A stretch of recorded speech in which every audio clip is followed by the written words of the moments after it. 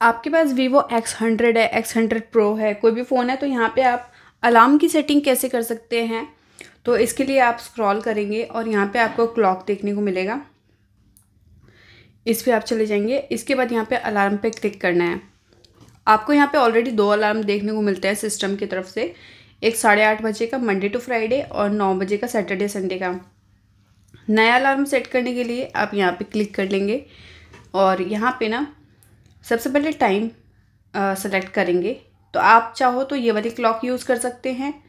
Time और second के लिए आप चाहो तो ये वाला जो ऑप्शन है कीबोर्ड का, इस पर क्लिक करेंगे। तो मैनुअली यहाँ पे डाल सकते हैं कितने बजे का टाइम आपको चाहिए।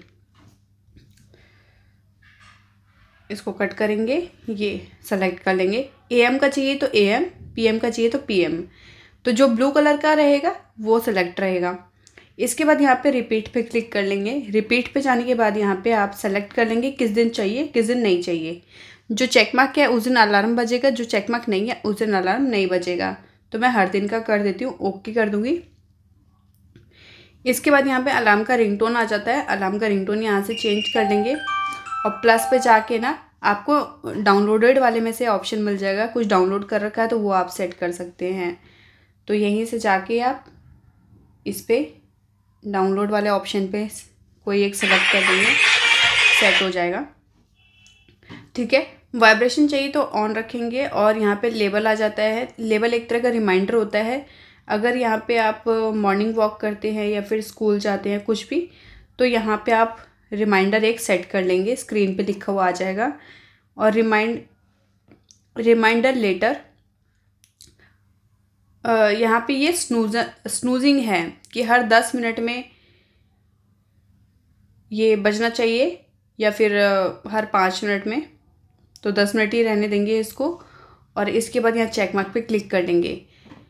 अब अलार्म आपका सेट हो चुका है, यहाँ से आप बंद कर लेंगे ऑन कर देंगे। अब थ्री डॉट पे जाएँगे सेटिंग पे आपको ऑप्शन देखने को मिल जाएगा। अलार्म की इतनी सेटिंग्स और मिल जाएँगी आपको, जिसमें से आप साइलेंस आफ्टर मतलब दस मिनट बाद ये साइलेंट होना चाहिए अलार्म या पाँच मिनट तक बजना चाहिए, वो आप लिख सेलेक्ट कर लेंगे। इसके बाद अलार्म का वॉल्यूम कितना रखना है, ये सिलेक्ट कर लेंगे। ग्रेजुअली इंक्रीज़ को आप फाइव सेकेंड कर देंगे ताकि अचानक से ना बचे और वॉल्यूम बटन से आप यहाँ पे ऑफ़ को सेलेक्ट कर देंगे। वॉल्यूम बटन दबाने से पाव, कट जाता है alarm power off alarm ringing ये वाला ऑप्शन ज़रूर ऑन रखेंगे ताकि अगर फ़ोन स्विच ऑफ़ भी है, तब भी यहाँ पे आपका अलार्म बजे। इसके बाद कुछ नहीं करना बैक कर लेना है।